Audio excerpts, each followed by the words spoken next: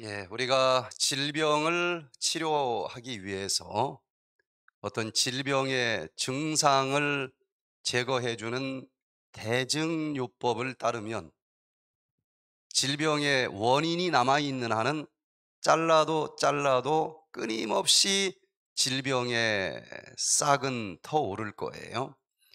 그래서 어, 대증요법으로 지친 많은 사람들이 이제는 그 근원을 뿌리를 좀 뽑아서 버려야 되지 않을까.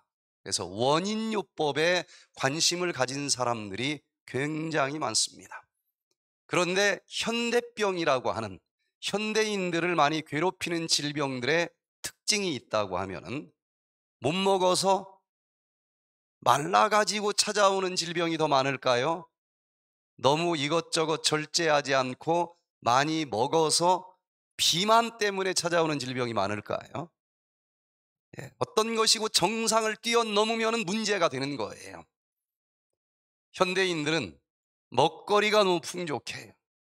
또 조미료, 또 여러 가지 맛있게 만드는 이상한 기술이 많이 발달이 돼서 요 마지막 끝부분에서만 짜릿하게 맛있게 만드는 물질들이 너무너무 많아서 먹다 보면 칼로리 과잉 상태가 되게 되어 있고 쓰고 남은 것들은 저장이 되어서 비만이 오게 되어 있습니다. 그래서 수많은 연구 결과들은 비만은 만병의 근원이다라고 이야기를 합니다. 그런데 이게 알기는 아는데 별로 대책이 없어요. 한번 여기 입맛대로 쫓아가다 보면은 나쁜 것 알면서도 끊기가 어렵고 비만에서 벗어나기가 참 어렵습니다. 여기 비만에 대한 통계를 보면은 예, 우리나라 아, 한국 사람들은 서양 사람들에 비해서 조금만 아랫배가 나와도 미국 사람들 이렇게 나온 사람하고 똑같은 종류의 비만형 질병들이 찾아와서 대한 비만학회에서는 국제보건기구의 비만 정의를 벌였습니다. 그 정의로는 한국 사람들은 다 날씬해요. 그런데도 한국 사람들 중에서 상대적으로 조금만 아랫배가 나와도 미국의 고도 비만인 사람들과 똑같은 비만형 질병이 찾아오기 때문에 BMI가 25 넘으면 미국에서는 그저 과체중이라고 얘기하지만 한국에서는 비만 질 환자로 분류를 합니다. 그래서 여기 체질량 지수 키에 비해서 얼마나 몸무게가 많이 나가느냐 이 지수가 25 이상인 사람들이 해마다 늘어납니다. 이게 또 가만히 있는 게 아니에요. 해마다 늘어가는데 전 국민의 거의 30% 내지 40%가 비만 환자입니다. 뭐 뚱뚱하면 보기 좋고 어떻겠느냐. 그런데 여러 가지 질병의 원천이라는 거예요. 그 중에서도 가장 무서운 질병, 이 암이라고 하는 질병도 비만이 오면은 더 많이 찾아온다는 것입니다.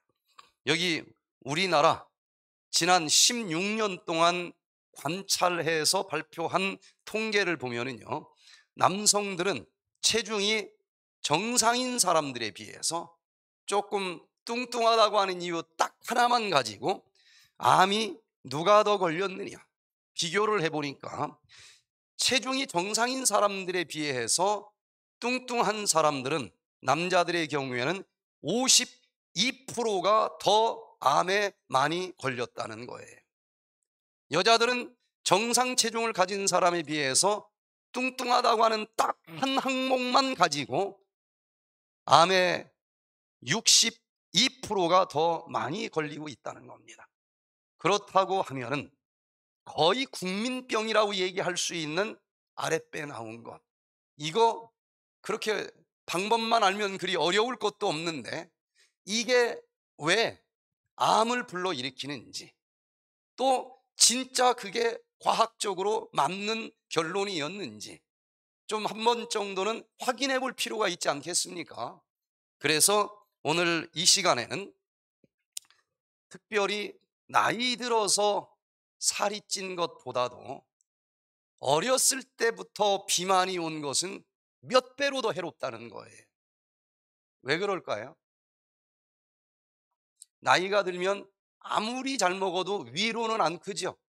어디로 커요? 옆으로 커요. 먹었는데 에너지가 쓰고도 남아. 그럼 몸 어디엔가는 저장을 해야 되는데 위로 저장을 해주지는 않아. 키가 크지는 않습니다. 나이가 들면. 옆으로만 크는 거예요. 그런데 어린아이들은, 청소년들은 많이 먹으면 남아도는 에너지를 어디다 붙여놓아야 되는데 위도 키를 클 때니까 위로도 더 큰다는 겁니다. 그래서 아, 어렸을 때부터 비만인 경우와 키가 다 큰 다음에 나이가 들어서 비만이 오는 경우는 내용이 완전히 달라요. 예. 어렸을 때는 이게 세포가 어린아이들도 죽을까요? 안 죽을까요? 누구든지 죽어요. 세포는 수명이 있습니다. 그런데 죽는 세포 숫자보다도 다시 분열되는 숫자가 많으니까 키가 크는 겁니다. 즉, 어린아이들은 어른들보다도 세포 분열 속도가 굉장히 빨라요. 자고 일어나면 크는 것입니다. 그런데 그 어렸을 때 한참 크는 나이에 뭔가를 많이 먹었다. 그러면은 남아도는 에너지를 어디다 저장을 해놓는가 하면은 지방세포도 살아있는 세포입니다. 지방세포도 엄청난 속도로 분열을 하는 나이이기 때문에 지방세포 숫자 자체가 늘어나요. 어렸을 때 살찌는 것은. 근데 나이 들면은 다 느려. 행동도 느리고 세포 분열 속도도 느려요. 그래서 똑같은 넘치는 칼로리를 먹었을 때 나이가 드신 분들은 세포 분열 속도가 빠르지는 않으니까 이미 만들어진 지방세포를 부풀리는 방법으로 살을 찝니다. 그래서 나중에 어 이거 이거 살 빼야 되겠다 하고 똑같이 젊은 사람들이 다이어트를 할 때와 나이 들어서 살이 쪄가지고 다이어트 하는 사람은 그 다음 내용이 완전히 다릅니다. 나이 들어서 살찐 사람들은 칼로리가 적으면 이 지방에서 뜯어 먹으면 되는 거죠. 모지라는 건. 부풀어 올라온 풍선 바람 빼듯이 그 칼로리 쓰는 대로 체중이 줄어요. 그러나 어렸을 때부터 비만인 사람은 지방세포 숫자 자체가 늘어났기 때문에 며칠 굶는다고 해서 그 세포 자체가 증발되지는 않거든요. 잘 안 빠집니다.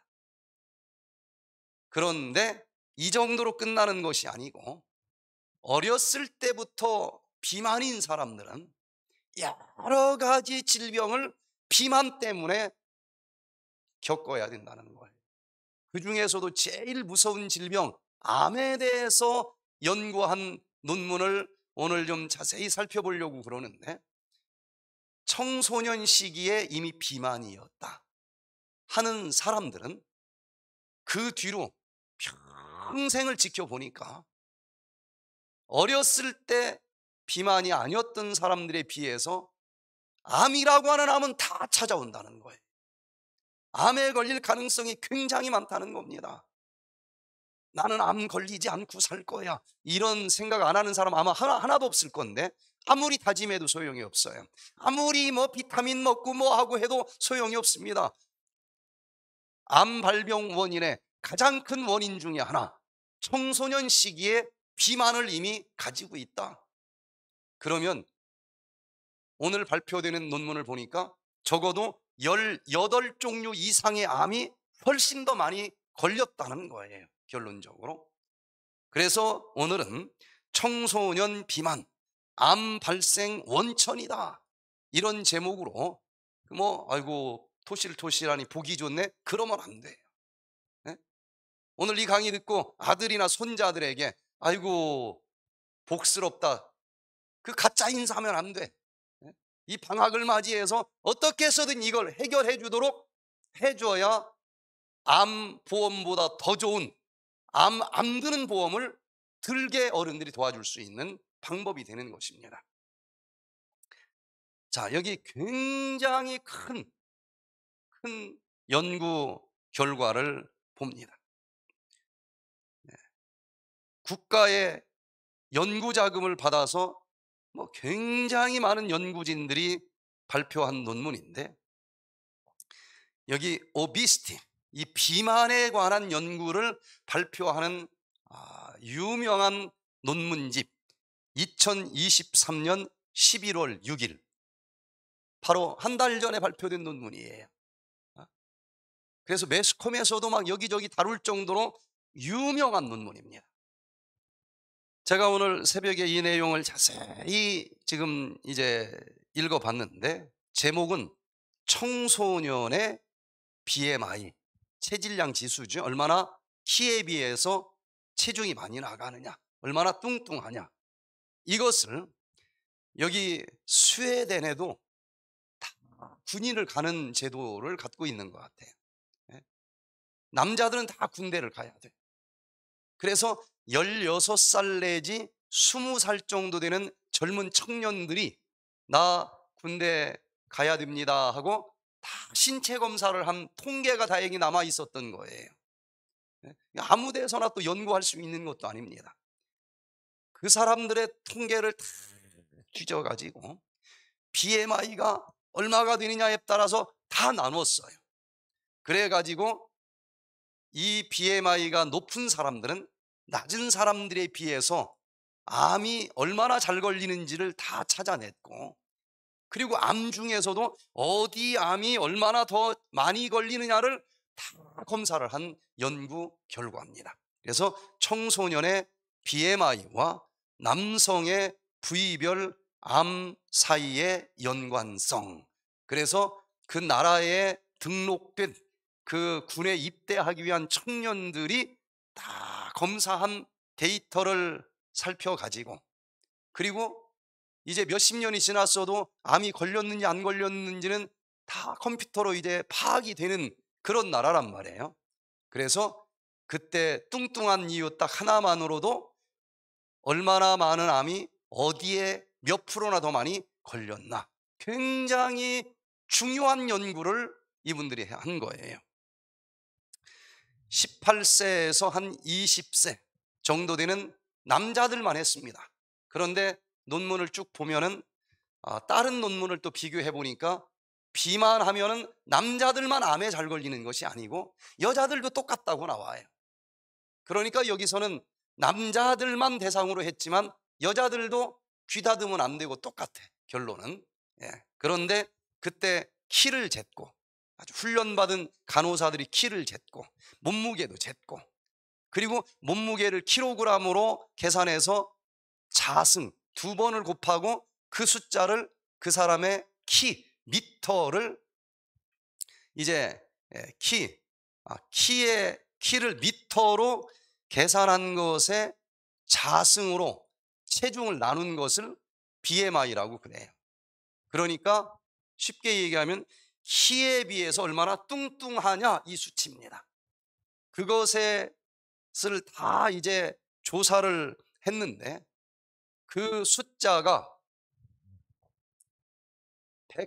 148만 9천 명, 150만 명이나 되는 어마어마한 사람들을 대상으로 얻은 결론이라서 이건 학자들은 무시할 수 없는 결과입니다.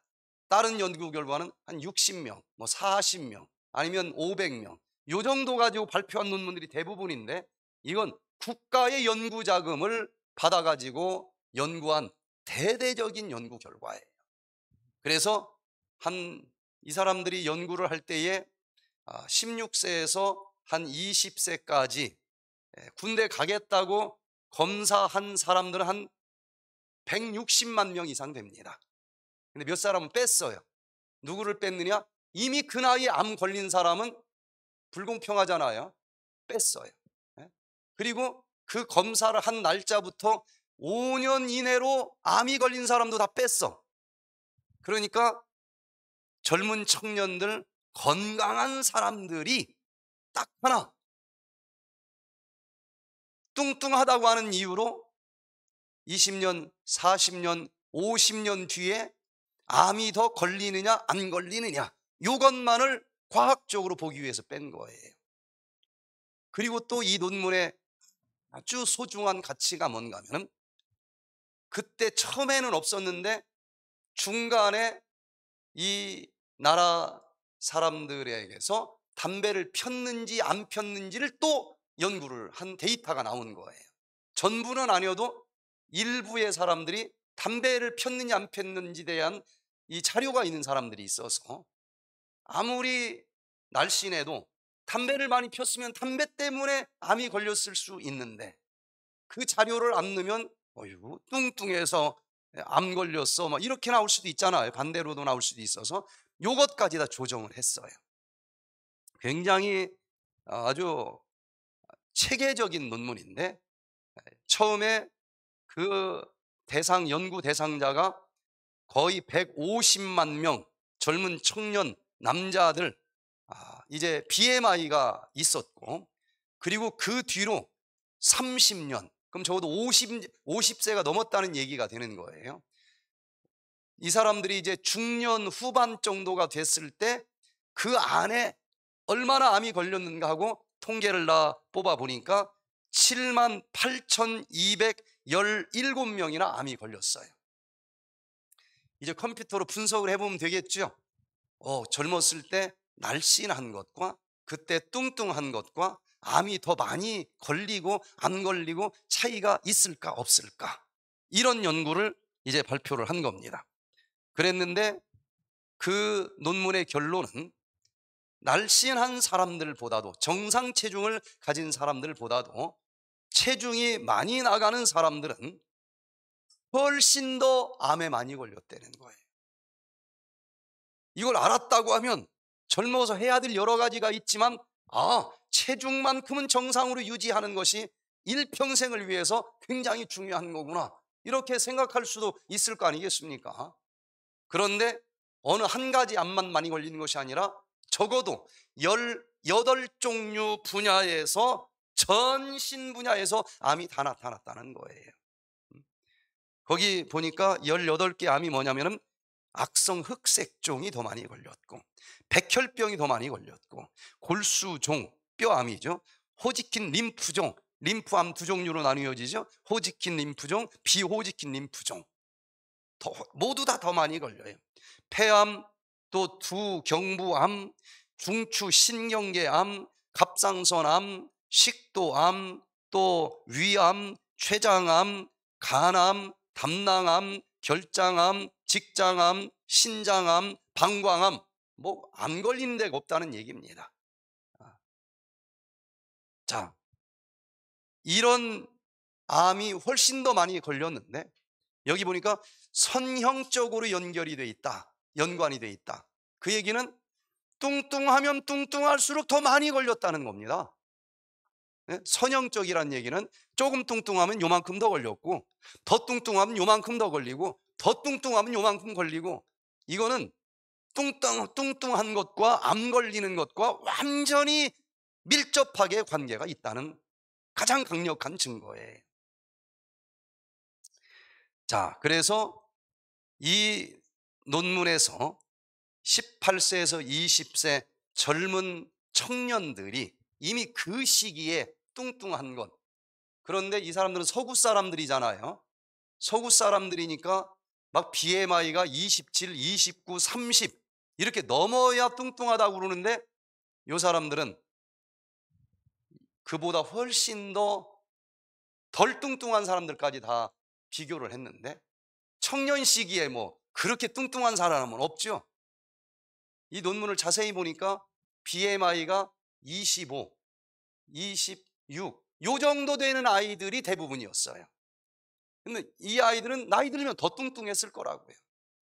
그래서 어, 한국 사람들하고도 거의 똑같이 적용될 수 있는 그런 논문인데 여기 그 논문에 나오는 그림 한 장을 좀 보겠습니다. 여기 악성 흑색종은 악성 흑색종은 예, 아주 뚱뚱하지 않은 정상적인 청년들보다도 그 뒤로 30년이 지나면서 암의 이 흑색종이라고 하는 암에 몇 프로가 더 걸리는가? 여기 보니까 한 8% 정도가 더 흑색종에 더 많이 걸렸어요.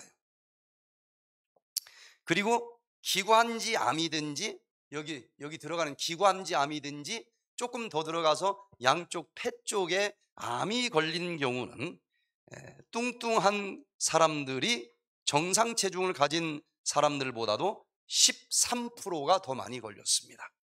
그리고 손 쪽에 암이든지 이 목 쪽에 암이든지 예, 예, 그런 암은 뚱뚱한 사람들이 16%가 더 많이 걸렸어요.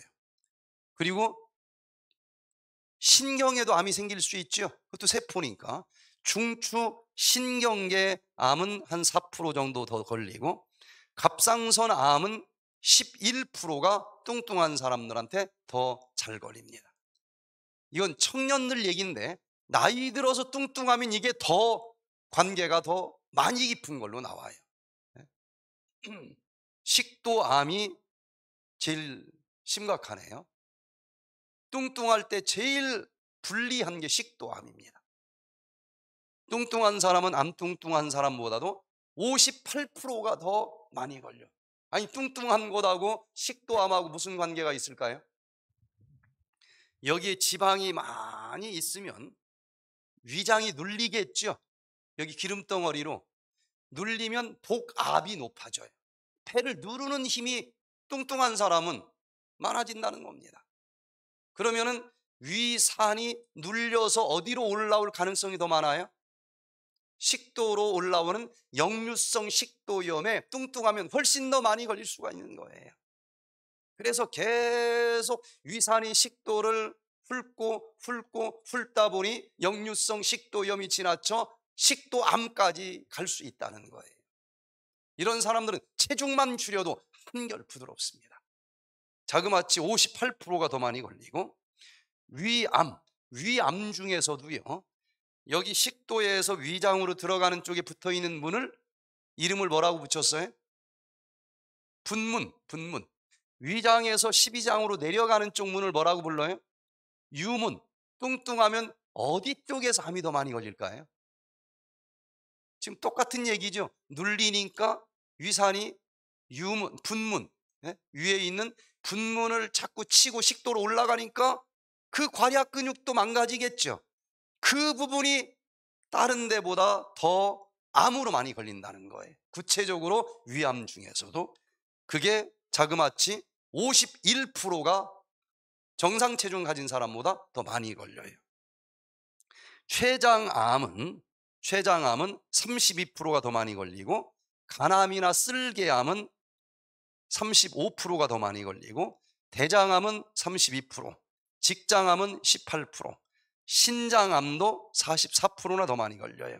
방광암 7%, 백혈병 26%, 골수종 19%, 호치킨 림프종 25%, 비호치킨 림프종 21% 이렇게 거의 전신에 암이 훨씬 많이 걸린다는 겁니다. 그래서 이 논문의 결론이 뭔지 아십니까? 이거 보통 문제가 아니다. 그러니 지금 청소년들 국가가 자원 지원해서 다이어트 할 수 있도록 정책을 세워라. 이 논문의 결론이 그거예요. 이렇게 중요한데 정부가 돈을 써서라도 이거 정책적으로 청소년 비만을 잡아야 된다. 네. 평생을 아파서 고생을 하고 결국은 그 보험료 다 지불하려면은 재정이 얼마나 낭비가 되느냐. 젊어서 살만 조금 빼게 해주면은 재정적으로도 남는 거다. 이게 쓰는 것이 아니고 이 논문의 결론이 그거예요. 자, 그러면은 청소년들이 좀 아랫배 살이 나온 것이 이렇게 심각하고 평생을 질병 부담을 짊어지고 살아야 되는 문제라고 하면은 예? 이렇게 방학을 맞이할 때 다른 것보다도 요거 좀 해결해야 되지 않겠습니까? 여러 가지 방법이 있는데 잘못하면 돈만 쓰고 몸만 버려요. 다이어트를 한다라고 하는 프로그램이 지난 70년간 2만 6천 종류의 다이어트 프로그램이 발표가 됐다는 거예요. 어떤 논문을 보니까. 이렇게 많이 발표됐다는 얘기는 아직 제대로 된 답을 못 찾았다는 얘기입니다. 제대로 된 약 하나 나오면 그걸로 끝나지 뭐 계속 개발을 하겠어요. 그런데 이 모든 다이어트 프로그램은 조사해 보니까 99.5%는 다 실패하는 프로그램이라는 거예요. 실패합니다. 그때는 빠졌는데 5년 내로 다 옛날로 돌아가거나 옛날보다 더 쪘어. 거의 아직도 답을 못 찾고 있다라고 논문을 발표를 합니다. 그러면은 도대체 어떻게 해야만 요 비만을 근본적으로 해결할 수 있을까? 백투에덴에서는 수십 가지 통합적인 방법으로 그냥 너무 배고프지 않게 요요 현상 없게 그러면서 즐겁게 이산 저산 뭐 온천물 바닷물 여러 가지 그저 즐겁게 놀면서 근본적으로 정상 체중이 회복될 수 있도록 해주는데 그 중에 하나 오토파지 스위치를 키는 방법을 소개를 해드립니다. 비만을 위해서 많은 사람들은 아니 모든 다이어트 프로그램은 무조건 안 먹는 거예요. 안 먹으면 살은 빠집니다. 그런데 영양소도 빠져요. 네? 그래서 처음에는 그래도 체중 빠지는 걸로만 기분 좋아했는데 영양소가 안 먹었으니까 더 빠질 거 아니겠습니까? 비만의 근본적인 원인은 근본적인 원인은 영양 결핍 때문에 오는 거예요. 왜? 우리가 어떤 영양을 먹으면 얘들이 피가 되고 살이 돼야 되겠죠. 에너지가 되고. 그러려면 밥풀떼기가 피가 되고 살이 되는 게 아니에요. 얘들이 피가 되고 살이 되고 에너지가 되기 위해서는 수많은 영양소들이 있어야만 이 대사가 일어나는 거예요. 그런데 라면 하나 먹어, 햄버거, 고기 덩어리 하나 먹어. 그러면 칼로리는 엄청나게 많은 거 분명한데 얘들이 피가 되고 살이 되고 에너지가 되기 위해서 필요한 수많은 종류의 비타민과 미네랄과 효소들이 없어요. 이렇게 먹으면. 그것이 피가 되고 살이 되고 에너지가 되도록 만들어줄 수많은 미량 영양소들이 결핍되기 때문에 피가 되고 살이 되고 에너지가 되지 못해. 그러니까 남아도는 이 칼로리가 결국은 지방으로 바뀌어서 아랫배에 쌓여 있는 것 이게 비만의 정체라는 거예요. 그러니까 무조건 안 먹으면 영양 결핍성 질병인데 영양 결핍이 더 오기 때문에 나중에는 살이 더 찔 수밖에 없는 거예요. 그래서 백투에덴에서는 물론 칼로리를 뭐 많이 먹으면 남는 거 저장되니까 비만이 오겠지만 칼로리는 줄입니다. 그러나 지금까지 결핍됐었던 미량 영양소는 옛날에 잔뜩 먹을 때보다 더 많이 먹는 거예요.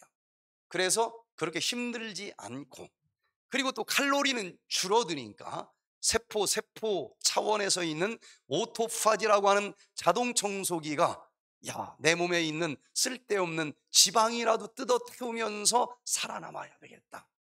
염증이라도 뜯어 나오면 뜯어 먹으면서 에너지로 써야 되겠다. 이 오토파지 스위치가 켜지게 되어 있다는 거예요. 이 사실을 발견해 가지고 요시누르 교수가 2016년도에 노벨 생리의학상까지 받은 것 아니겠습니까? 자, 그래서 이 오토파지 스위치를 켜주는 프로그램을 한 달 정도만 하면은 드디어 길을 찾을 수 있는 거예요. 평생의 암에 대한 두려움에서 벗어날 수 있도록 체중 조절이 가능하다는 것입니다. 자, 그래서 이 오토파지 다이어트를 어떻게 해야 될까? 또 과연 그렇게 하면은 요요 현상 없이 진짜 체중이 정상 체중으로 회복될 수 있을까? 그 원리를 보면요. 일단은 비만은 포동포동하고 보기 좋다가 아니고 이건 질병이라는 사실을 먼저 알아야 돼요. 다리가 부러지면 방학이 아니어도 며칠 학교 쉬고 입원하겠죠. 다리 부러진 것보다도 심각한 질병이 비만입니다. 비만. 방학 때라도 활용해서 고쳐야 되는 거예요. 자, 일단은 현대인들이 먹는 음식을 분석을 해보면 지방이 있는 음식을 너무 많이 기름기 있는 음식 기름기 있으면 맛있습니다 그걸 너무 많이 먹으니까 혈액 속에 지방이 많이 돌아다니겠죠 거기다가 고기 위주로 또 먹기 때문에 우리 몸은 소화기관은 고기를 소화시킬 수 있는 소화기관이 아니고 채식을 소화시킬 수 있도록 구조가 되어 있기 때문에 힘들게 소화를 시켜야 돼요. 그 과정에서 활성산소가 굉장히 많이 나와요. 그러면 지방과 활성산소가 만나면서 과산화 지질이라고 하는 무서운 독소가 생성이 됩니다. 그러면은 이 독소가 혈관을 타고 돌다가 혈관 벽에 달라붙어요. 혈관 벽에 달라붙든지 아니면 세포까지 들어가서 세포 속에 달라붙든지 뭐 몸 어디엔가 남아 있다는 얘기 아니겠어요? 그러면 혈관에 달라붙으면 이 혈관이 두꺼워질 거 아니겠습니까? 그리고 부드러운 게 사라지고 딱딱하게 굳어요. 동맥 경화증이 생겨요. 자꾸 뭔가 달라붙었기 때문에 피가 흘러다니는 혈관 속에 공간이 좁아져요. 그러면 혈액순환이 잘 안 될 거 아니겠습니까? 혈액순환이 잘 안 되고 그 혈관을 타고 우리가 먹은 영양분들이 술술 돌아다니다가 어떤 세포 속에 들어가서 태워져야만 이게 소비가 되는 것인데 결국은 칼로리 소비가 더 감소가 될 거예요. 그 먹은 칼로리가 태워지지 않으니까 결국은 지방으로 저장이 되는 것 이걸 우리는 비만이라고 부른다는 거예요. 또 이 세포에 얘가 침착이 되면은 세포가 기름기에 찌들어 가지고 세포 기능이 또 떨어지게 되어 있어요. 세포 기능이 떨어지니까 세포가 하는 일을 제대로 못해 옛날보다. 그러니까 세포가 쓰는 칼로리로 줄어들고 먹은 칼로리는 소비가 안 되니까 아랫배에 지방으로 또 대사가 진행이 돼서 살이 붙으니까 비만이 오는 거라 이거예요. 자, 이렇게 비만이 오면서 모든 장기, 모든 기관들을 이제 망갑들이는 것인데 이걸 근본적으로 우리가 해결을 하려면 비만의 가장 큰 원인은 지방이죠. 지방을 뜯어먹어서 버려줘야 돼요. 또 지방이 활성산소라고 하는 독소와 하나가 되면서도 심각해졌어. 해독을 해줘야 됩니다. 자, 이것을 한꺼번에 해결할 수 있는 방법이 오토파지 디톡스라는 거예요. 자, 이 지방이 몸에 많으면은 그냥 지방만 많은 것이 아니고 염증이 많아지면서 만병의 근원이 될 수 있다는 거예요. 특별히 지방세포에서는 염증을 만들어내는 아디포카인이라고 하는 물질을 분비를 합니다. 그래서 얘가 어디를 공격해 가지고 그 염증이 많아졌느냐에 따라서 간에서 염증이 생겼으면 간질환이 생길 거고 위장에서 이게 또 공격받아서 염증이 생기면 위장 질환이 생길 것이고 신장 쪽에서 이런 염증 독소가 공격해서 망가지면 사구체 신염 신장병이 생길 거예요. 모든 병이 생기고 견디다 못해 마지막에는 전부 다 암으로까지 진행이 된다는 겁니다. 여기 이뮨 네트워크 2006년도에 발표된 것을 보니까 지방이 이 면역세포와 서로 주거니 받거니 하면서 염증 물질들을 만들어낸다. 자, 네? 특별히 아디포넥틴이라고 하는 이런 어떤 호르몬 같은 것을 지방세포에서 만들어내고 얘들이 염증을 만들어낸다는 것을 알게 됐어요. 비만인 사람들은 왜 질병이 많은지 여기 보면은 지방세포가 많으면 지방세포에서 렙틴이라고 하는 호르몬을 만들어냅니다. 그런데 이 렙틴이 면역세포 중에서도 최전선에 있는 단핵구를 자꾸 오라고 한다는 거예요. 여기 와 보세요. 여기 와 보세요. 옵니다. 오면은 이 단핵구가 들어와서 얘는 총을 가지고 있으니까 막 무기를 쏘는 거예요. 지방세포에다가. 그러면은 그때 뭐가 많이 높아지는가 하고 발표된 것을 보면은 렙틴이 지방세포에서 많이 분비가 되고 또 여기 에, 뭐가 많이 분비가 돼요? 비스, 비스파, 비, 에, 비스파틴이라고 하는 물질이 지방세포가 많으면 더 많이 분비가 돼요. 얘는 염증을 만드는 물질입니다. 몸에 염증이 많아요. 이 뚱뚱한 사람은. 거기다가 또 에, 지금 얘기한 아디포넥틴이 이제 적게 분비가 되는데 얘는 인슐린 민감도를 아, 증가시키는 물질이에요. 근데 얘가 적게 분비가 되니까 인슐린 민감도를 막 높여주는 물질이 적게 분비가 되니까 인슐린 민감도가 떨어진다는 얘기죠. 인슐린이 세포 초인종을 한 번만 딱 눌러도 열어줘야 돼 민감하게. 그런 사람들은 모든 포도당이 세포 속으로 들어가서 태워지니까 당뇨에 안 걸려요. 근데 지방질이 많으면은 요 인슐린 민감도가 떨어져서 눌러도 세포문이 안 열어지니까 우리 몸에서는 인슐린을 더 많이 만들어내게 되어 있어요. 그런데 인슐린이 하는 일 중에 하나가 포도당을 지방으로 바꿔주는 일이거든요. 결국은 더 뚱뚱해지게 된다는 겁니다. 그리고 인터루킨 6 단핵구가 이런 걸 막 분비를 한단 말이에요. 얘는 염증을 만드는 물질이에요. 2중, 3중으로 비만을 가진 사람들은 염증이 많아지게 되어 있다는 것을 이렇게 구체적으로 확인을 한 겁니다. 그리고 또 MCP-1이 많아지는데 얘는 자꾸 총든 탄핵구를 오라고 까부르는 친구들이에요. 얘가 많이 오면 어디서 전쟁이 일어나고 염증이 많아지게 되어 있습니다. 또 여기 보니까 acute phase molecules, molecules 얘가 또 많아지는데 얘는 급성 염증 유발 분자를 높여주는 거예요. 하여튼 지방이 많으면 결론적으로 우리 혈액 검사하면 CRP라는 숫자가 있죠. 이게 뚱뚱한 사람 높아요. 여러 가지로 염증을 높여주는 일을 지방세포가 해주는데 뚱뚱하면 그 지방세포가 많이 들어있다는 얘기와 똑같다는 것입니다.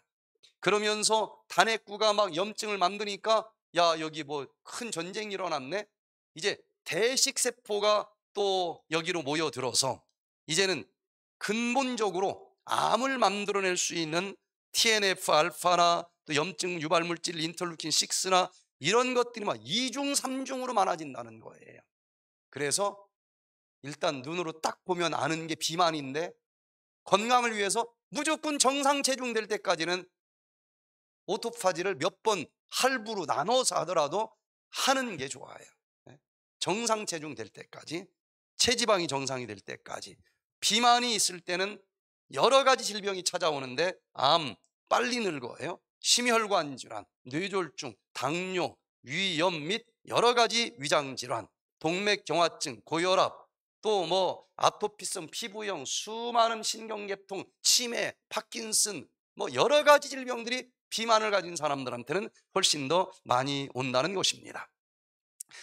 그래서 국제보건기구에서도 1996년도에 수많은 연구 결과를 통합해서 이렇게 결론을 발표합니다. 비만은 질병이다. 그것도 장기적인 투병이 필요한 질병이다. 자, 그래서 이 지방을 의학적으로 가장 근본적으로 넘치는 지방 없애주는 방법은 다 민간요법이죠. 다이어트 하는 건. 많이 먹어서 쪘으니까 안 먹으면 빠지겠지. 절대로 성공 못 합니다. 왜? 사람은 안 먹고는 살 수가 없어요. 일정 순간까지는 안 먹을 수 있고 안 먹는 순간에는 체중이 빠질 수 있지만 언젠가는 먹어야 돼. 언젠가 먹기 시작하는 날부터 무슨 일이 벌어질까요? 세포 입장에서 한번 생각해 보세요. 야, 이거 어느 날 우리 주인 양반이 막 밥을 안 먹기 시작을 하는데 야, 지난 10일 동안 내가 하마터면 굶어 죽을 뻔했네. 근데 계속 안 먹을 수는 없으니까 어느 날 먹겠죠. 먹기 시작을 하면 세포가 뭐라고 할까요? 그냥 뭐 아주 정신없이 먹는 겁니다. 정신없이. 예? 그런데 옛날만큼 살이 쪘어. 막 정신없이 며칠 먹다 보니까. 그런데 옛날만큼 쪘으면 가만히 있어야 되는데 무슨 생각을 해요? 이 주인 양반이 언제 또 이렇게 며칠 굶을지 모르잖아요. 그러면은 그때 안 죽고 살아남기 위해서 지금 먹고 있는 동안에 좀 더 많이 먹어서 저장을 해놔야 되겠다. 이게 요요 현상의 메커니즘이에요. 자, 그런데 의학적으로는 넘치는 지방을 어떻게 뜯어 먹을지 메커니즘이 다 발표가 됐는데 의학적으로 다이어트를 안 하고 그냥 굶는 걸로만 하니까 다 실패를 하는 거예요. 의학적으로 어떻게 해야 되느냐? 오토파지로 나옵니다. 평상시보다 약간 칼로리는 적게 먹는데 그냥 칼로리만 적게 먹는 것이 아니라 백투에덴에서는 배가 고프지 않도록 꼭 필요한 영양소는 더 많이 먹는 특수 오토파지를 하는 거예요. 그러면은 2000kcal 먹는데 500kcal만 먹는다. 그럼 얼마가 부족해요? 하루 살아가는데 1500kcal가 부족하니까 그때 내 몸에 어떤 염증이나 지방이라도 태워서 에너지로 쓰면서 살아남아야 되겠다. 오토파지 스위치가 켜져요. 그러나 칼로리만 적게 먹는 것이 아니라 얘들이 다 찌들어 붙어 있는 기름기 뜯어내고 분류하고 이럴 때는 또 많은 영양소가 필요해요. 평상시 그런 거 다 안 먹었던 거예요. 그것은 더 먹으면서 오토파지를 합니다. 그러면 여기 그림을 보세요. 이 논문에 발표된 그림을 보니까 여러 가지를 뜯어 먹는데 그 중에 기름 덩어리가 남아도는 게 많이 붙어 있네. 아래, 아랫배 보니까. 그러면은 이 자동 청소기가 제일 좋아하는 게 기름 덩어리입니다. 오토파지 스위치가 왜 켜졌어요?